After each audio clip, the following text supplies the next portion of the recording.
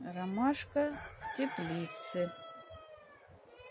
Моя красавица ромашечка. Кто не успел с осени посадить, звоните. Ромашечки у меня достаточно. Не только для себя, но и для вас, дорогие мои подписчики.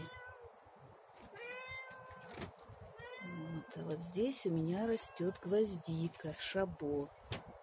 Вот на одном кустике с прошлого года остались остатки цветочков. Очень обильно цветут. Вот этот кустик, к сожалению, подъели слизни, но это не критично, он отрастет. Замечательные, разноцветные гвоздики пахнут просто как духи.